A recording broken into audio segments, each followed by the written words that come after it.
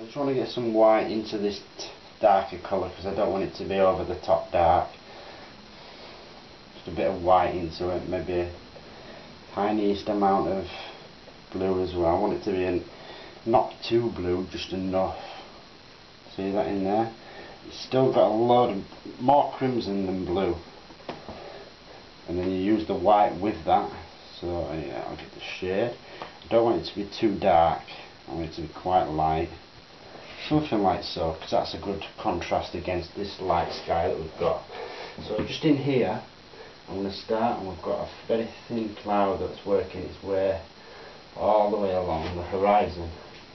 So give it little bubbles on top and stuff, little tiny round things on top of it, but keep it coming through pretty straight all that way. And it comes all the way and goes off behind some mountains that we're going to be doing. And then I'm going to fatten that up slightly just by adding more colour in there all the way along.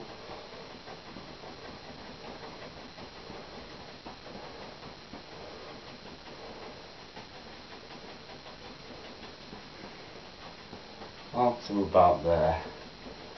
It's a nice little stringy cloud along the horizon and then I think I might just put from this edge here going to have a bit of that coming straight through as a little cloud underneath there. That's quite a distance away. Maybe one there. Know that we've definitely got some up in here. So I'm just going to roll them through it from this edge just gently into there all I'm doing is applying the colour first with this. And then I'm going to use some of the orange the brush with the orange on it again. Back into the the bright one the red. And then just on this area under here I just want to touch a bit of that into this yellow area and it'll look like clouds you can actually put a bit up into that cloud as well uh, just along the horizon there. So you've got a mixture of the orange with the others. And the same up in here. You can just come along and just touch smallest amount of orange to that all the way along.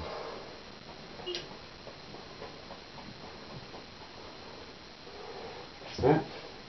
And then again, get a clean brush and go over this on the horizon and pull it I want it to look like it's a stretched cloud. allow it to stretch right. See that? Same with that. On this one, actually pull the colour on the canvas to make it look soft and distant. So this one's a bit closer. So with this one, you do it slightly different. Slightly different. I'm just going to gently come over that and just allow it to softly blend together and you'll still see that orange that you put in there then but it'll be diffused that's that, that's cool right we're on to his mountains so the same colour that we've used in here same good old dark colour that we've been using all the way through. And just on just underneath where this cloud is basically we've got some lovely mountains. I'm going to start them from this edge. And I'm going to actually bring them down slightly. Up. I want to have some proper lovely effects with this. Just concentrating on the top edge at the moment I don't care less what's happening anywhere else. I want it darker at this side as well than I do near the light source. Near the light source I'm going to make it slightly lighter.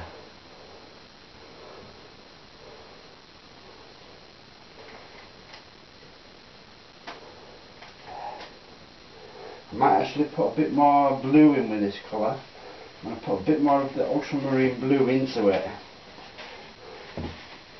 for these mountains, just a bit more all the way up into there and it'll mix them with the colour. Because you've got, it is a lavender basically. I just have a bit too much crimson in with it. Uh, and it's quite sharp because it's a sunset scene. It is really quite sharp.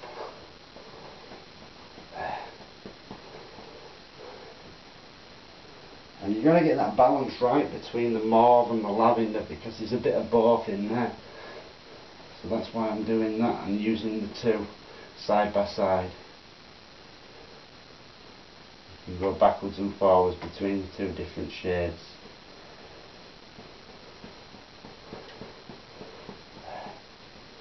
Pull down at the angles you want. You don't want no detail really in these. They're just pretty much in the background in silhouette. So as we come through his side now here, it goes quite a bit further on and then there's a bigger drop, quite a bigger drop and it sort of like recovers itself and comes back up again.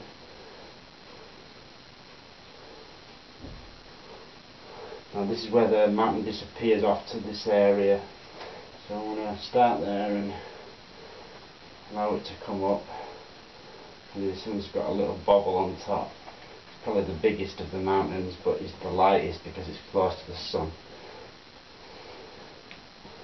Pull down underneath it some colour and then use the angles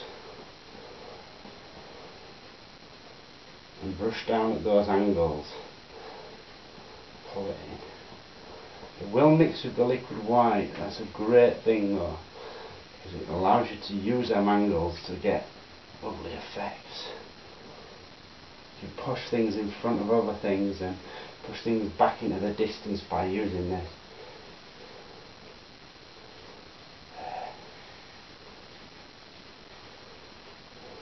Right, that's great because just underneath that is where I've got some little uh, stand of trees. So before I go any further, I know that I've still got a brush with the orange on and the yellow.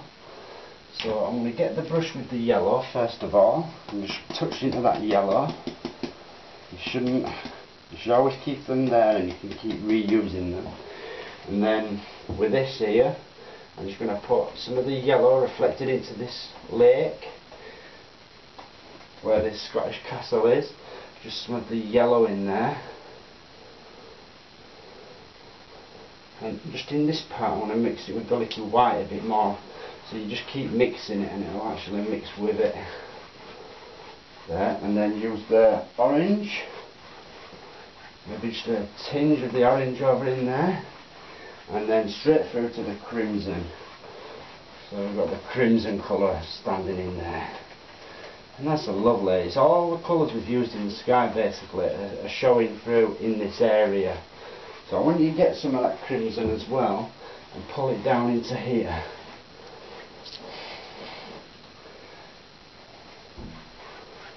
Just some of that crimson down in there. Don't have to do it too strong, allow it to mix with the liquid white.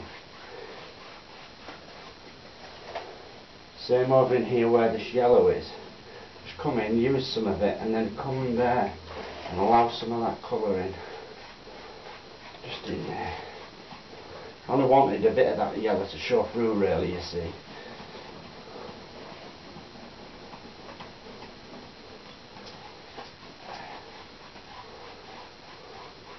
That's it.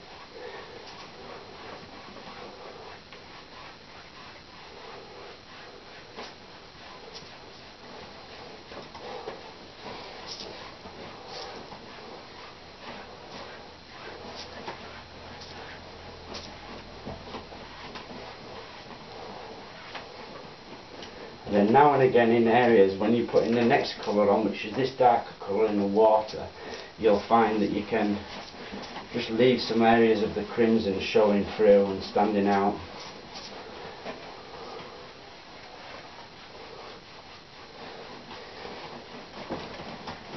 Don't mind, I'm going to have this blue colour in here anyway to get a stronger crimson tone in first of all.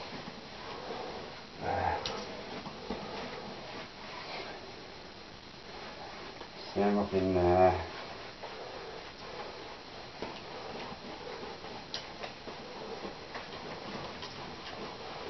There we go. Well, that's a blend nicely.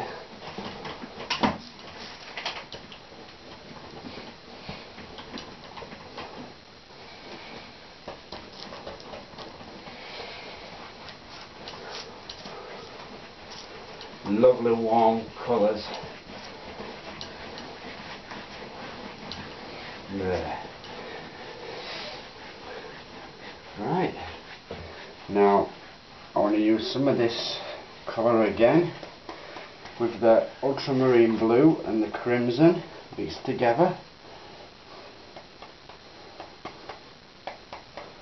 And then with that, I might even get some white, some titanium white.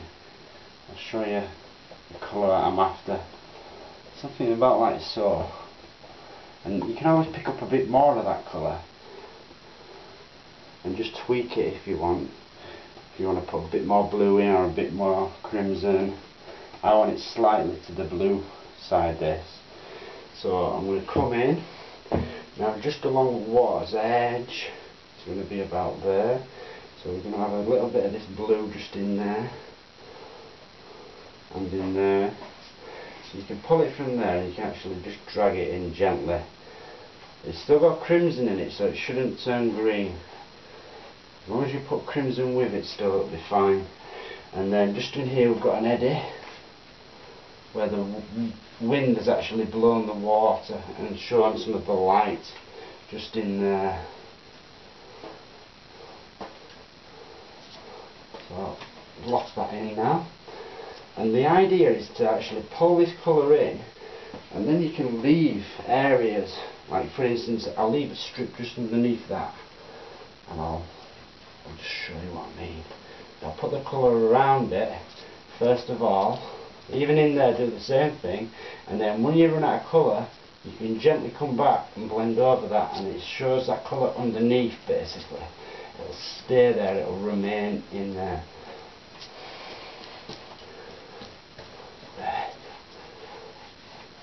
Don't kill that colour underneath.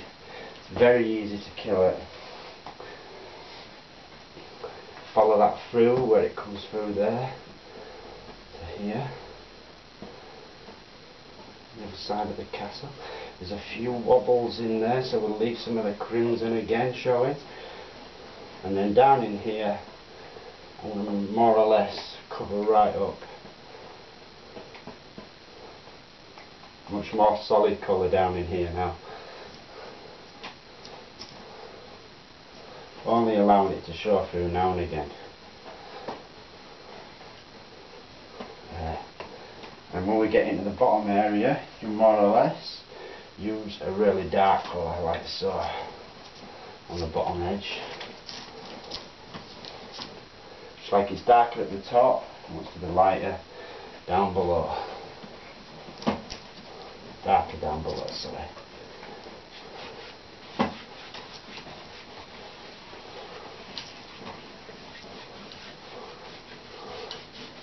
Getting there.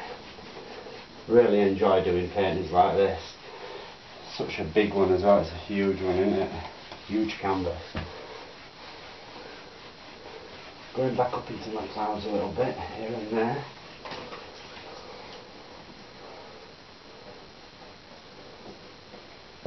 Don't think that just because you've got something done, you don't think that you can't go back in again. Because if you see something you're not that keen on, Go back in there, don't worry about it. You can soften things off if you think something's a bit too dark. You can brighten things up if you think it's not light enough. Right, now I'm getting there. Now I can just blend underneath this softly and allow a few ripples and stuff to go in just under there and that colour we used underneath it. And what I'm going to do, I'm just going to actually put these trees in now. Some trees.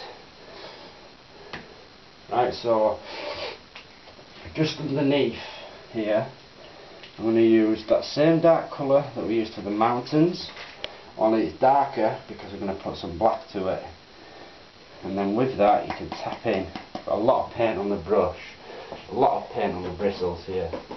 So it starts off over at this side and it's quite low actually. It's quite low. Just in there. I'm only worried about that top edge at the moment. But it needs to be predominantly darker than the mountain so that it stands out and you have separation. So these trees are pretty much getting bigger and bigger as they go over to the right, these trees. So what I'll do is I'll just start off over here and I know they're going to be getting bigger and bigger so I can always have that in my mind. Remember that contrast between them mountains and this is a, this area is quite important. Like little trees on the top.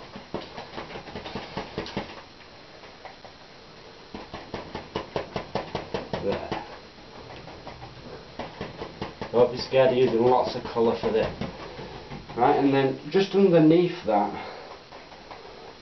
what I do is I will make it a bit bigger at that end because I want it to be bigger on the right hand side smaller over here on the left.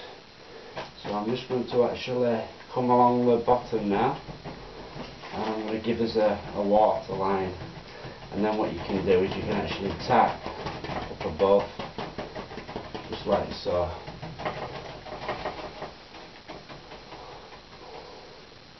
This water line now I'm just going to run the brush right through and then it gets smaller at this end.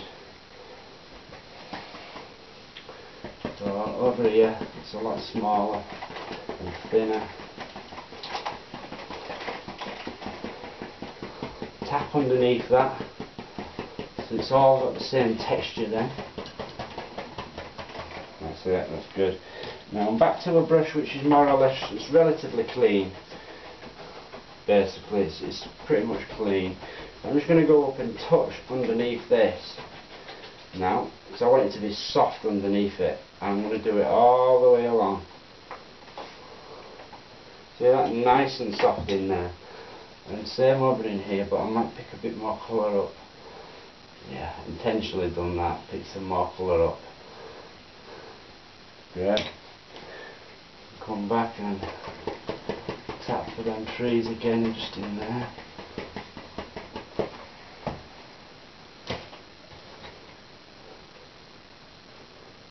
allow that to be soft in there.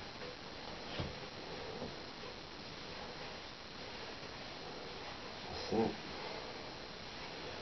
Just come right underneath sometimes. Happy. Going to plan. I'm just going to use a fan brush. And I'm going to get some titanium white. Both sides of the brush.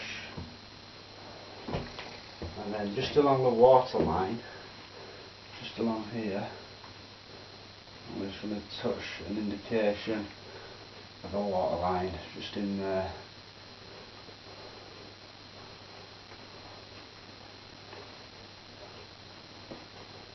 just with a fan brush and the same bring it over this side and through to about there.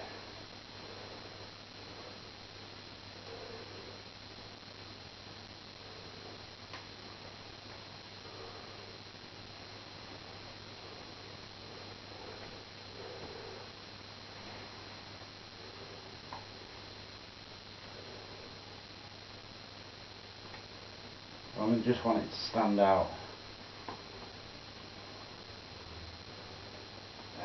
something about like that, that's cool. Now I've actually got underneath that, just over in here, got a bit of a dark reflection.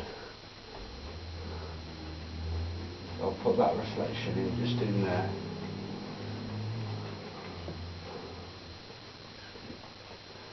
Quite dark. And then I pull down. Pull down None of these will be reflected because they're quite small, whereas these are quite big. So you just pull down like so, and then what I do is I get a clean brush and just go, maybe pull down again one last time, and then go across, make it look soft, like proper reflections in there. Back to my white. and I can just come back up in here. Just add a few little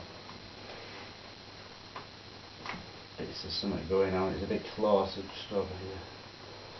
But it's getting bigger. There right now we've got some little peninsulas coming out into the water I'm just using this dark colour both sides of fan brush sharp to a chiseled edge extremely sharp and then just over in here we're talking about just under it there. Yeah, we have a piece of land, like a, a rocky peninsula that's coming out. It's quite thin actually, it's quite slim. There. Something like that is what I'm after. And it's got some like rocks on top of it. and it actually is quite flat at the moment this one so I'm just paint behind it a tiny bit and there's going to be another peninsula coming from that. So just around here.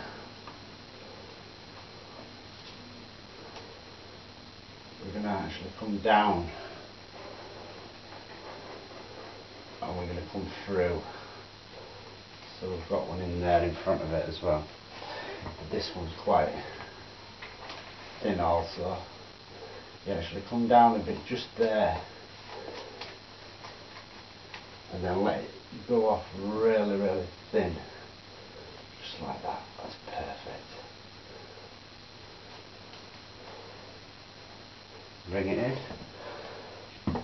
Now when I'm bringing this in I'm going to come down slightly. Paint behind that. That's just good and dark in there. Just block that in with colour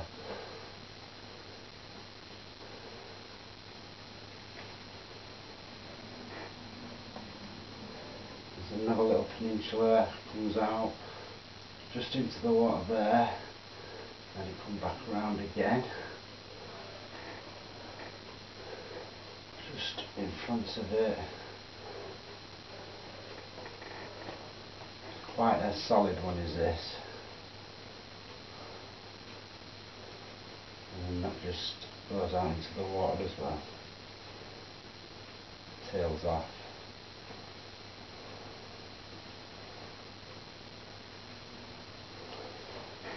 Now I actually want to bring this back quite straight, this one. So, we've got as, as waterline now there. Bring it back there. That's good. That can come right back now. Lock that in behind it.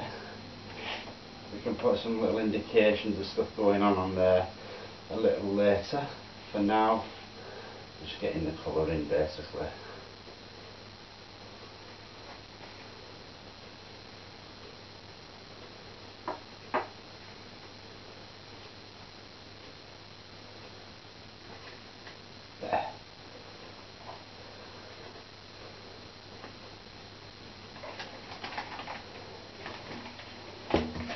always good to just step back and have a good look at what you've been doing. Now I actually would like this to tail off a little bit more than it does. A little one in there and then it's going to get smaller as it gets to the end. It does grow quite fine.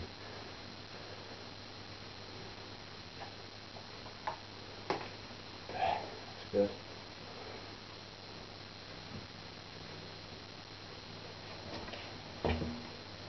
Right, we've also got a really long peninsula in front of this which actually comes right out over here. Just starts at the side of the finishes at the side of the castle just in there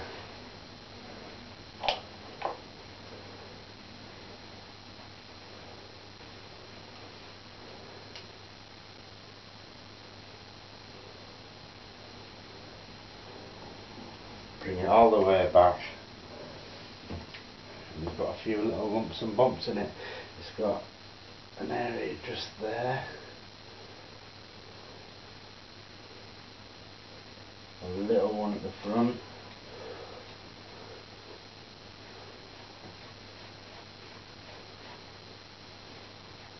And then got a bigger one as we come along here. About there painting behind that. And then it's quite thin really all the way. Just slightly gets bigger as it goes towards the left